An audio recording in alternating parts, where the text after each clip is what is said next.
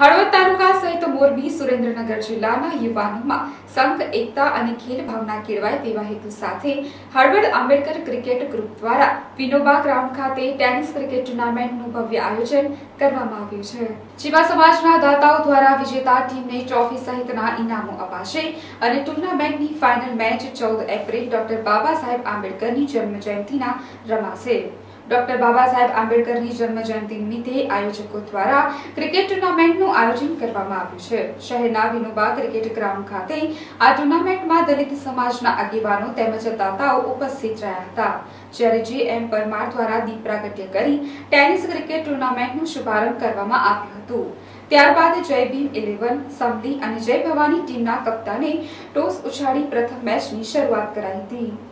આ tennis cricket ટુર્નામેન્ટને સફળ બનાવવા જી એમ પરમાર, હરેશભાઈ પરમાર, દિનેશભાઈ મકવાણા, હસુભાઈ પરમાર, દિનેશ પરમાર તેમજ દાતાઓ દ્વારા સહયોગ આપવામાં આવ્યો છે.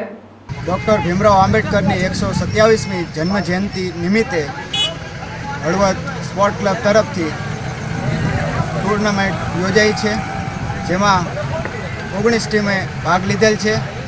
આ ટુર્નામેન્ટની ચૌદ એપ્રિલ બે હજાર અઢારે ફાઇનલ રહેશે.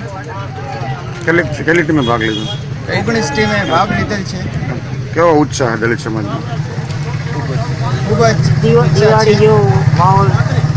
અને ખૂબ જ દલિત સમાજ સાથ સહકાર આપ્યો છે અને ઘણા બધા મિત્રોએ સાથ સહકાર માટે આયોજન કરવાનો એક જ પ્રયત્ન હતો કે સમાજ ભેગી થાય.